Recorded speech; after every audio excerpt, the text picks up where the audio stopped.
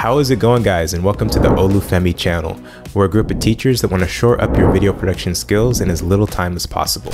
Yo, it's Herman here, and if you're like me, you're always keeping an eye out for effects to spice up your edit or fix things in post. You see, I started learning After Effects through YouTube tutorials so that I could find ways to make my edits look less trash, either by making the camera footage less shaky or adding creative effects to make it look dope. Through the years, I found myself collecting and using the same 10 effects or updates of the effect on almost every project that I work on. And just like my journey in After Effects, I'll start by sharing the powerful effects that have helped me polish up my footage and then make my way down to the more stylistic effects that kind of adds that cherry on top. So buckle up and here we go. Now, most of the shoots that I've done are very running guns. So I've always found myself having at least a couple shots where the framing was a little bit uneven. What I mean is that I try to shoot something straight on and have the horizon evenly balanced, and it looks like I shot it at an angle when I'm not trying to. So I have found that CC Power Pin is a really useful effect to fix my crappy camera work. But another good use for this is for screen replacement. Some of you might already know what corner pin is already if you've exported tracking data to stick on a fake screen. But CC Power Pin is more functional by giving you additional tools to make finer adjustments. So I recommend copying those keyframes over to CC Power Pin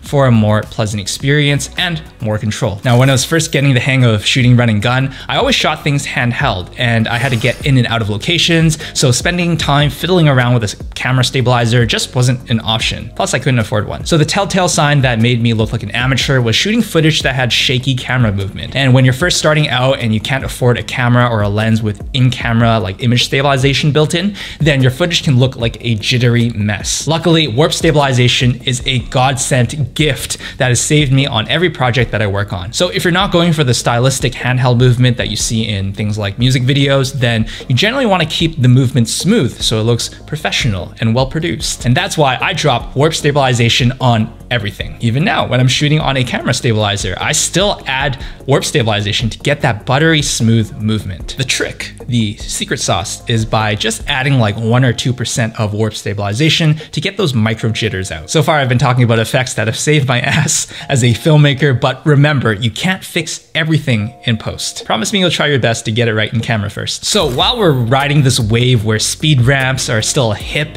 and cool thing to use in your edits, God, I sound like a grandpa. I found this effect quite useful. When I first started speeding up my footage to make dope transitions, I found something a little off, and it was because these sped up frames looked too clean. So I thought, you know, if the camera really moved that fast, there would be motion blur. And that's when I discovered CC Force Motion Blur. All you gotta do is drop it in and boom, you've got motion blur. I don't know what kind of witchcraft After Effects is using, but I found that this effect gives pretty good results. So if you ever feel like something in motion is lacking some weight or realism, then drop this bad boy onto your clip. I used to like using Gaussian blur and fast blur for various things, but when it came to blurring footage or faking depth of field, it never really cut it. That is when this beautiful effect found its way into my tool belt. Camera lens blur is a great way to add realistic camera blur to whatever you drop it on. So if you film something and decided that it would tell a stronger narrative to first start out out of focus and then rack focus into clarity, then you can do that by using this effect. I use this a lot to blur my background if I need some text or a logo to pop up. This also works great for when you're creating motion graphics and you want to add a realistic camera blur. You can also fake depth of field by adding a blur map to give a really good blur fall off. Don't know if that's a real term, but let's just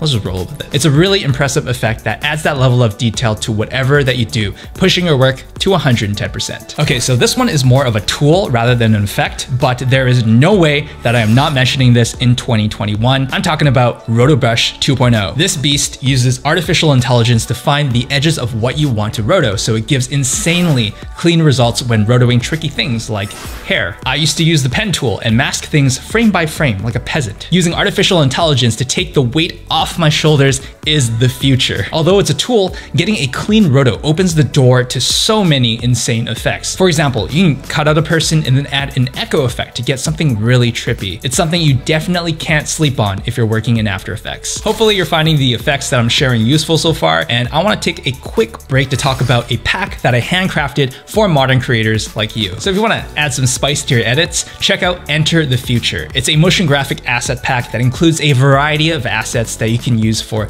music videos, commercials, live streams, or narrative films, you name it. It comes with an unlimited license, so you can use it for as many projects as you like, and a tutorial on how to use everything. So if you need transitions, borders, or custom text animations to give your video a modern edge, I recommend checking it out. You can get more info on it by clicking the little pop-up in the corner over there, or with the link below in the description. Yeah, let's move on by talking about curves. Curves is an oldie but a goldie. I always found that sounds a little weird. It's gotta be my most used color grading tool when it comes to quickly adjusting the colors in After Effects. What makes this so powerful is that you can not only adjust the luminance value, but also the red, green, and blue channels separately, all in one effect. It's also my favorite way to add a pleasant vignette to my shots. All I gotta do is add a curves effect onto an adjustment layer and then just mask the area that I want to apply the vignette to. Even though it's probably been around since like the very first version of After Effects when it was released, it still holds up as one of the best effects in 2021. And I don't think there's anyone who works in After Effects and doesn't use curves. Okay, so this effect is gonna make me sound a little stupid because earlier I shared an effect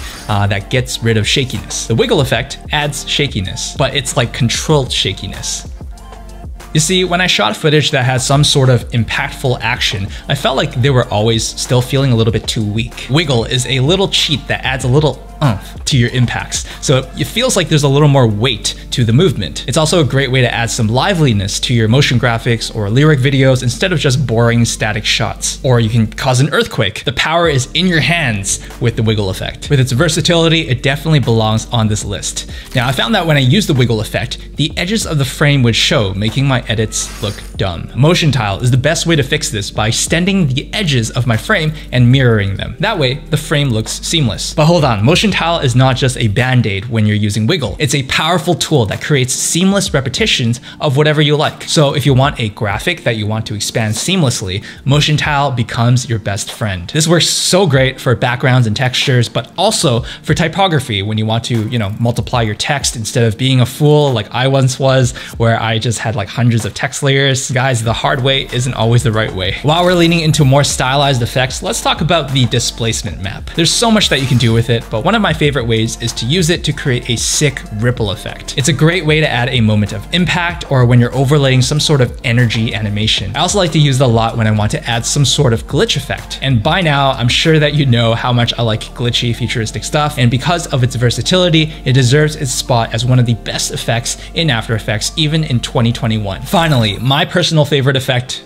Glow. Glow is one of those things that you don't need, but boy, when you add it in, you just can't stop. I'm a fan of eye-catching things, and adding glow is such a great way to make your VFX or motion graphics stand out. From fantasy-themed shots to cyberpunk neon signs, you just can't go wrong with adding a bit of glow. I feel like a damn moth. But when it comes to stylized effects, this is one that I just can't live without. So there you guys have it, 10 of what I believe are the best effects of 2021 in After Effects. From ones that add some extra polish to your footage, all the way to some more creative effects that you can use in your edits. Let me know in the comments which one was your favorite or what you believe deserved to be on the list. Now, if you want to see more videos like this on the Olufemii channel, then make sure to hit the big red subscribe button if you haven't done so already and click the bell notification so that you don't miss a thing. As I mentioned before, make sure to check out my pack called Enter the Future if you're looking for some sick motion graphic assets to spice up your video. You just gotta click the little pop-up for some more information or by using the link in the description below. Now, if you wanna see what I'm personally up to, then check out my Instagram. The handle is at Coffee Licker. Again, my name is Herman, and I'll see you guys in the next video.